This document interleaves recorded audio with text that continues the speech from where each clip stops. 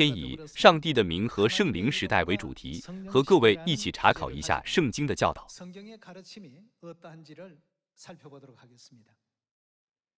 上帝的名确实非常重要。我们现在生活在圣灵时代，在现今时代，我们当求告上帝的什么名呢？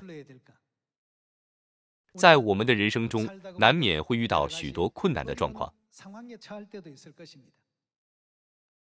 在圣父时代，相信上帝的人一定会祈祷说：“耶和华上帝，请帮助我，拯救我。”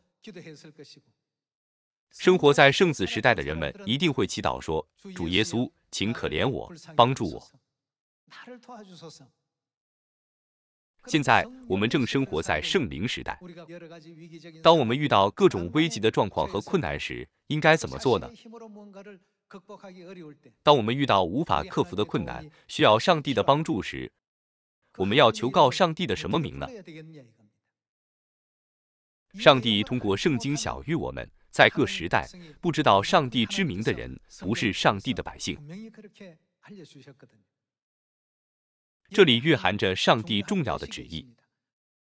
上帝通过上帝的名，区分了谁是谁不是自己的百姓。马拉基先知在马拉基书中记录了什么呢？那日临近，必如烧着的火炉；但向你们敬畏我名的人，必有公义的日头出现。如烧着的火炉的那日，是指上帝用火在这地上实行幕后审判的圣灵时代。在圣灵时代，不知道呼求上帝之名的人，就不是上帝的百姓。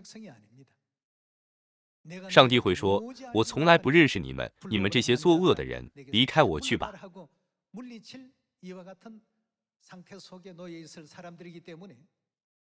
上帝可以只用一个名字，让全世界的人都能轻易的认出他的名字。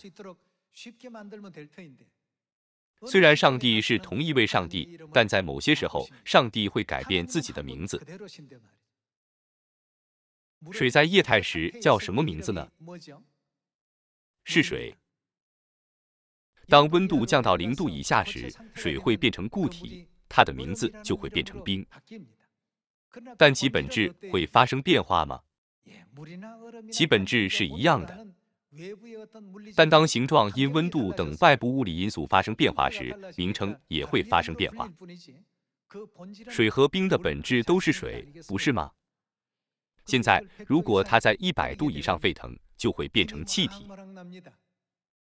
我们称其为什么呢？我们称之为水蒸气。无论是水、冰还是水蒸气，其本质都是一样的。在旧约圣父时代，上帝使用了耶和华这个名字；在圣子时代，耶稣因怜悯地上的人，无法以灵的身份留在天上。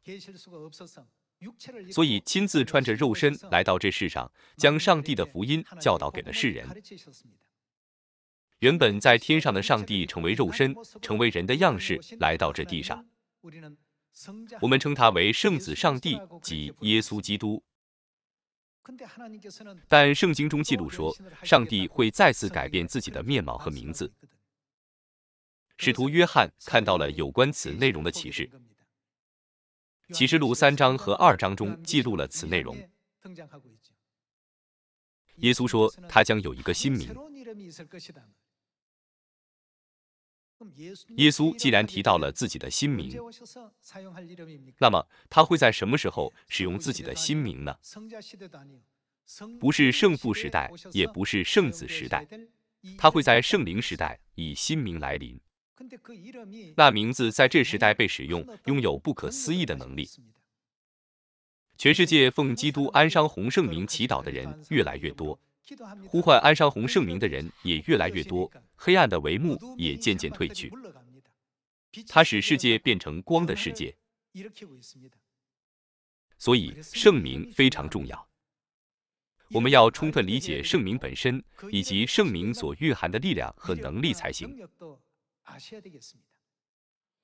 在使徒时代，大祭司、犹太人、法利赛人、文士们对初代教会的圣徒们施加了多大的压迫呢？他们说：“万万不可讲论这个名字，不可借这个名字引起任何权能。为了压制求告圣名的圣徒们，他们使用了各种手段。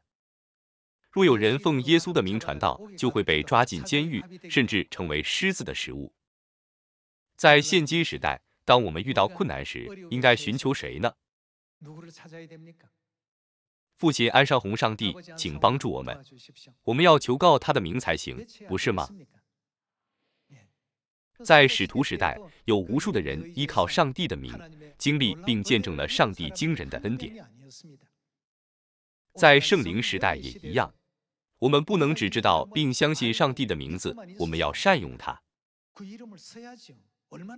这是多么强大的名字啊，不是吗？各位相信圣经吗？相信上帝的话语吗？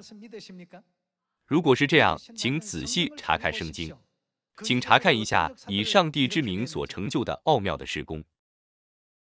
今天和各位一起查考一下此问题。首先看一下以赛亚书五十二章五节。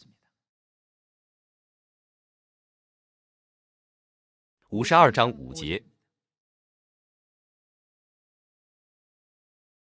耶和华说：“我的百姓既是无价被掳去，如今我在这里做什么呢？”耶和华说：“辖制他们的人呼叫，我的什么整天受亵渎呢？”我的名整天受亵渎，所以我的百姓必知道什么呢？必知道我的名。到那日，他们必知道说这话的就是我。看啊，是我。作为上帝百姓的人，一定要知道上帝的名字才行。但当我们若问圣灵时代的人们，圣灵上帝的名字是什么呢？有知道答案的人吗？只有西安的子女知道并相信他的名。我的百姓必知道我的名。上帝亲自大声说出了此话语。各位，教会多如海边的沙，他们不知道耶和华和耶稣这个名字吗？他们实际上都知道这些名字。那么，上帝为何将这些话语记录在圣经中呢？上帝在自己的名中蕴含了在圣灵时代分辨他的真百姓的深奥旨意。上帝的名字不仅仅是一个名字，里面蕴含着巨大的威力和能力。各位对阿里巴巴和四十大盗的故事都很熟悉，不是吗？在一个用大石头封住的洞里有宝物，用世上任何钥匙都无法打开，只要一句话就可以了。要说什么呢？芝麻开门。同样，我们要说谁的名字呢？在现今时代，我们奉安商红之名领受祝福，奉安商红之名献上赞美。这样，只有当安商红的名字被传播、传向全世界时，上帝才会以圣父时代上帝的名字、圣子时代上帝的名字、圣灵时代上帝的名字引导我们完成拯救。第一次听说这个的人会说：“耶稣这个名字，我们已经听过很多次了。”谈论安商红这个名字的教会有点奇怪，不是吗？想一想耶稣出临的时代吧，在耶稣出临时，整个犹太社会都相信除了耶和华上帝以外没有救主，他们都奉耶和华的名祈祷。虽然是为了成就上帝的预言，但从百姓的角度来看，在加利利的拿撒勒突然出现了新的宗教。引领新宗教的领袖就是使用耶稣之名的上帝。当他们求告耶稣的名时，无论往哪里去，都会发生惊人的事：瘸子行走，瞎子看见，聋子听见。奉耶稣之名，发生了如此惊人的事。所以，当时掌权的宗教领袖们才说，不可奉耶稣的名说话。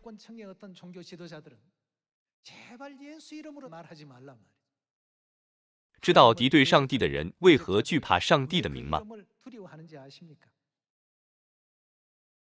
想一想，在圣子时代，通过耶稣的名，救援的恩典是如何传向撒玛利亚全地，直到地极的。因此，撒旦极力阻止耶稣的新名在圣灵时代显明出来。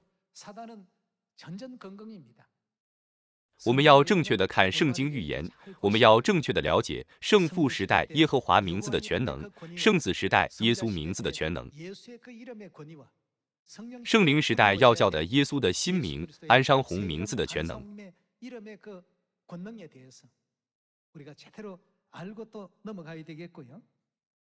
两千年前来到这世上的耶稣基督也提到了上帝的名字。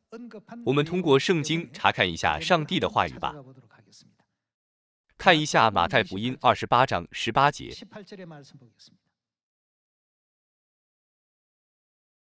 马太福音二十八章十八节。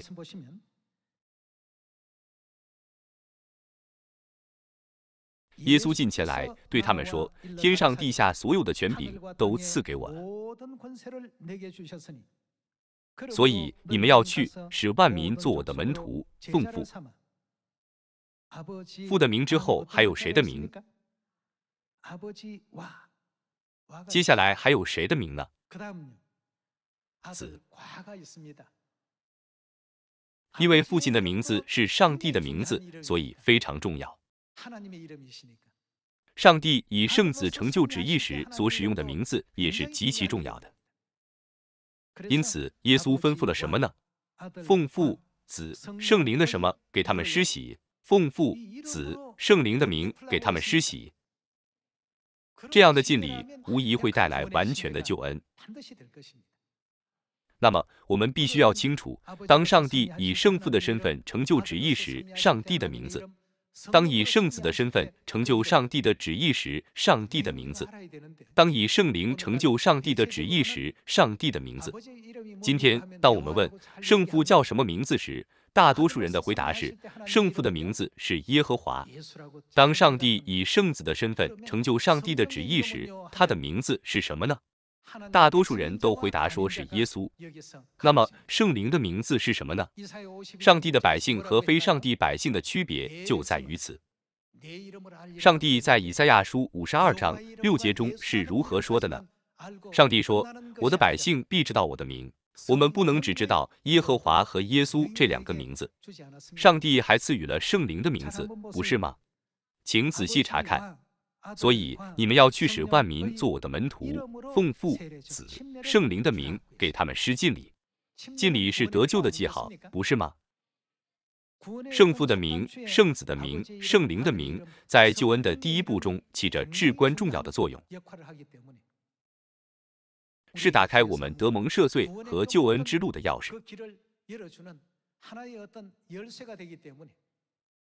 所以耶稣基督才提到了这些名字。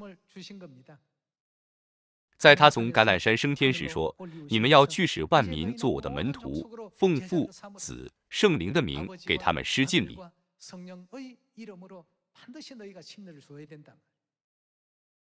但是今天有哪个教会以父亲的名字、儿子的名字、圣灵的名字施浸礼呢？我们分明要知道圣灵的名字才行。那个名字具有拯救人类的能力。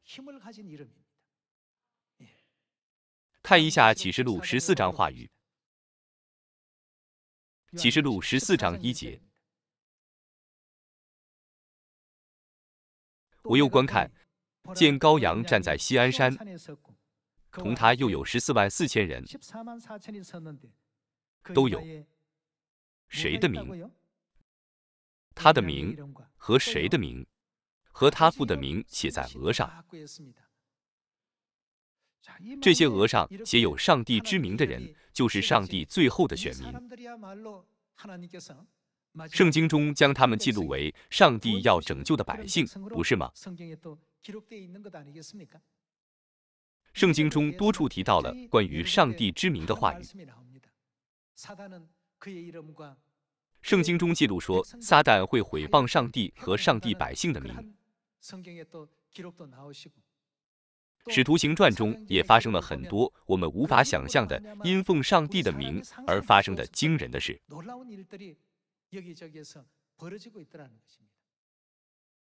所以，我们要正确理解圣灵时代来到这世上的基督的新名才行。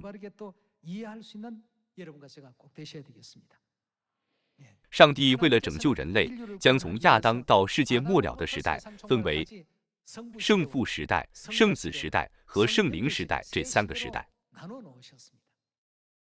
曾经有一个时期，人们通过求告耶和华的名或耶稣的名得到了救恩。上帝说要将他的新名赐予生活在圣灵时代的我们。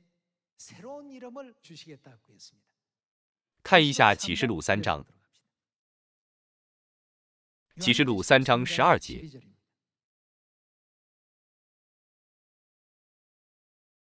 得胜的，我要叫他在我上帝殿中做柱子，他也必不再从那里出去。我又要将我上帝的名和我上帝城的名，这城就是从天上从我上帝那里降下来的新耶路撒冷，并我的新名都写在它上面。经上说，我要在它上面写上我的新名。那么是谁的名字呢？是谁在这里说话呢？启示录一章一节中记录说。耶稣基督的启示就是上帝赐给他，叫他将必要快成的事指示他的众仆人。他就差遣使者小谕他的仆人约翰。由此可知，说这句话的人就是耶稣。他们的额上都写着羔羊的名字和父亲的名字。他们还有什么呢？耶稣说：“我要在上面写上我的新名。”那么，耶稣的新名能叫耶稣吗？因为是新名，所以以前没有用过这个名字。上帝说，他的百姓要知道他的名。现今，像海边的沙一样众多的教会都知道耶稣这个名字。但他们却不知道耶稣有新名。只有知道上帝的名，才能迈出得救的第一步，即奉父、子、圣灵的名受浸礼。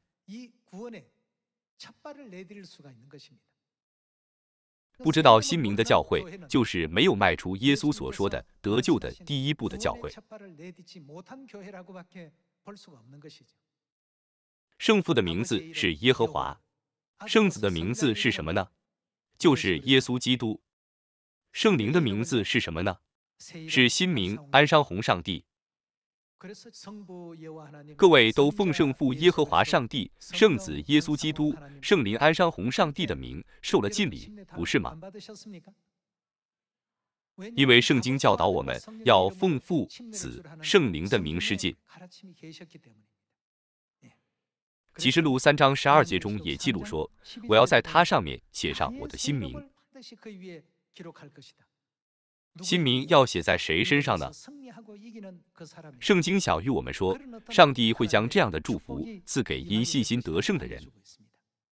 现在我们来查看一下新名的特征。看一下启示录二章十七节。二章十七节。圣灵像众教会所说的话，凡有耳的就应当听。得胜的，我必将那隐藏的玛瑙赐给他，并赐他一块白石。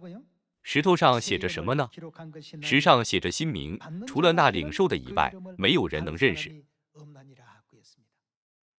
那领受的是指以信心迎接的人。除了迎接新名的人以外，还有知道新名的人吗？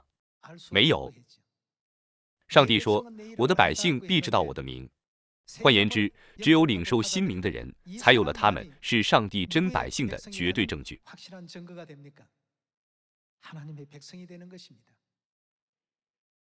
现今有多如海边的沙的教会，自称是得救的上帝的儿女，但上帝却问他们：“你们是我的百姓吗？”是的，我们是。那么你们知道我的名吗？我们不知道。各位，这是多么尴尬的对话呢？他们甚至不知道自己所敬拜的上帝的名字，却仍然自称相信上帝。所以，以赛亚书五十二章六节中记录说：“我的百姓必知道我的名。”不仅有圣父时代和圣子时代的上帝之名，还有圣灵时代耶稣的新名。完全知道，包括新名在内的上帝之名的人，是上帝等待已久的、真正要得救的上帝的百姓，不是吗？第一次来我们教会的人中，有人会问：为什么上帝的教会不信耶稣呢？各位，我们是不相信耶稣的教会吗？我们非常爱耶稣。但上帝的教会总是称呼安商红上帝这个名字，为什么呢？安商红上帝是谁呢？是在圣灵时代来临的耶稣的新名。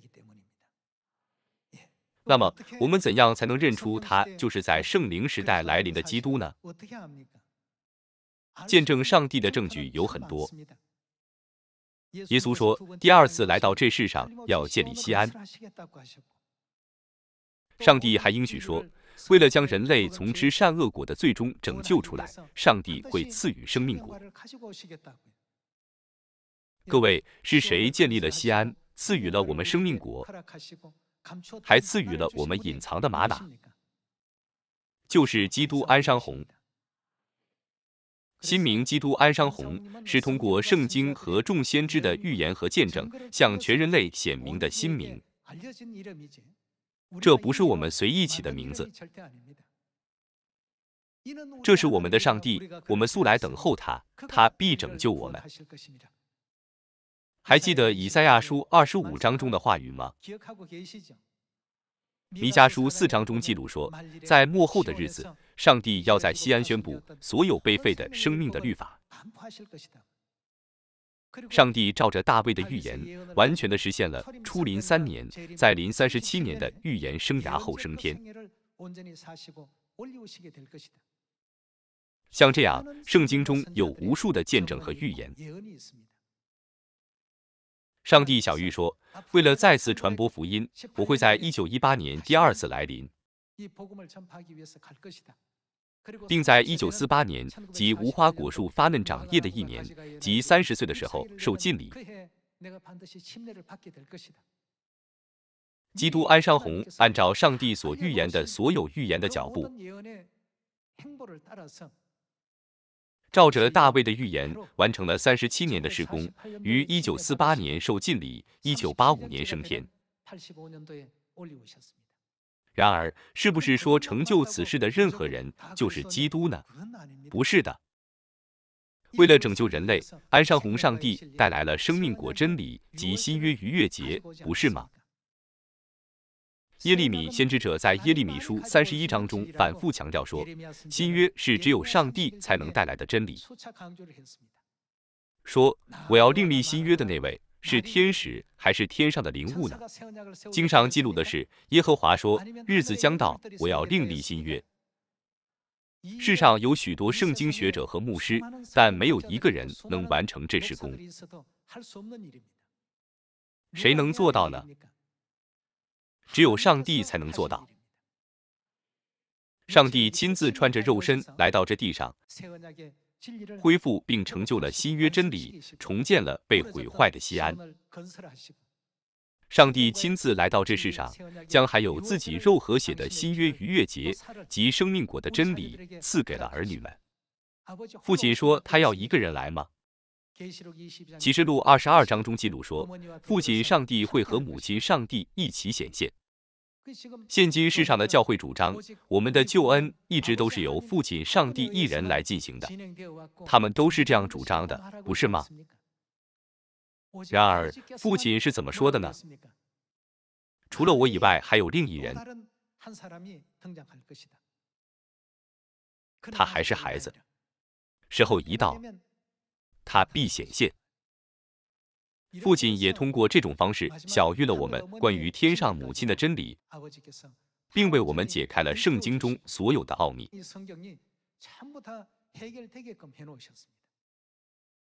即便在现今时代，许多圣经学者也有这样的主张。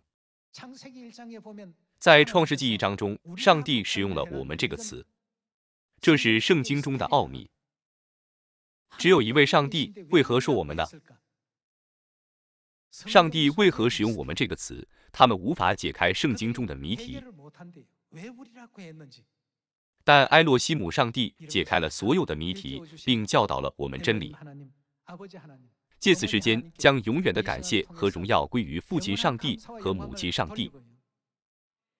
两千年前，使徒彼得奉耶稣基督的名医治病人，让瘸腿的人行走。上帝让他亲眼目睹了如此惊人的神迹。在古代，有以利沙、以利亚、参孙等无数信心的先辈。他们都知道，在那个时代，上帝的名里蕴含着怎样的全能。假设有一个人拿着炸药棒，并点燃了引线，会怎样呢？会爆炸。他虽然拥有巨大的力量，但在点燃火之前，他只不过是他手中的一根棍子而已。上帝之名的全能也是如此。看一下但以理书七章二十五节话语。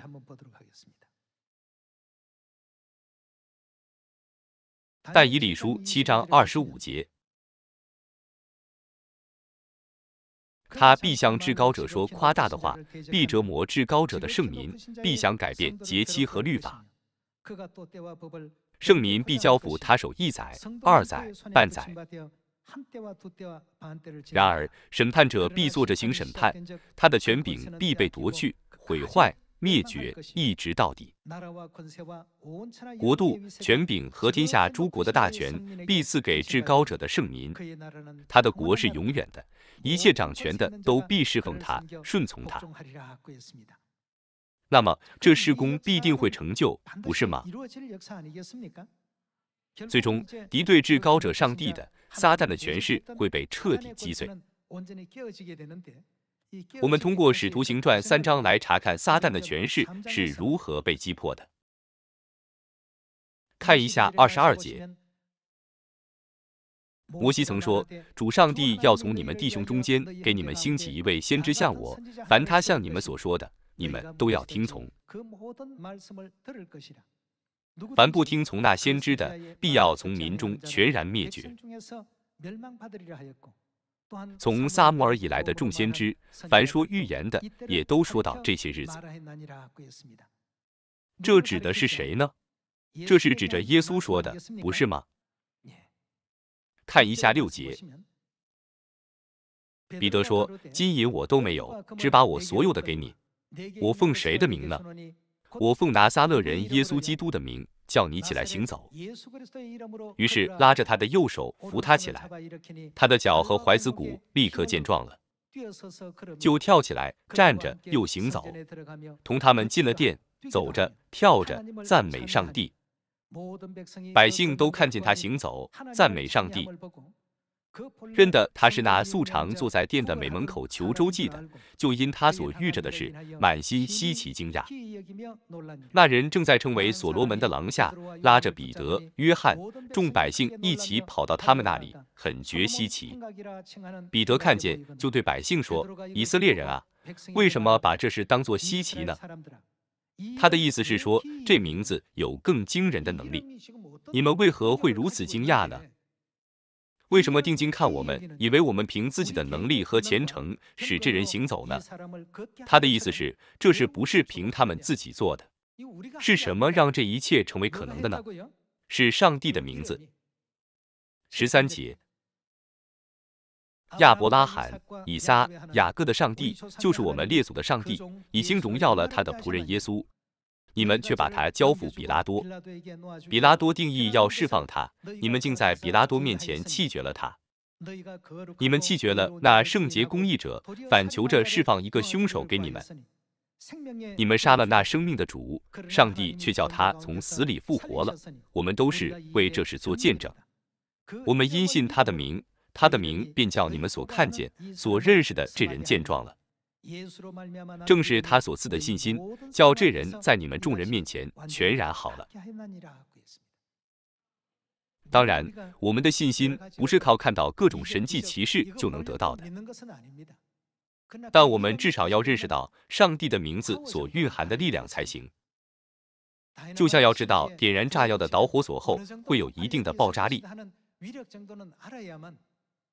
这样才能对炸药多加注意。同样，在圣灵时代，我们也要领悟耶稣基督新名的全能，即新名基督安商红将如何改变全世界。我们要常常使用上帝的名字才行。只有这样，黑暗的世界才会逐渐变成光明的世界。父亲、母亲最先开创的福音，如今在一百七十五个国家建立了七千五百多个西安，三百五十万多名子女们进入了真理之中。这是因为西安子女们奉父亲安绍宏之名献上无数的祈祷，为上帝的名做了见证。现在世上的人们都被某些固定的观念所束缚。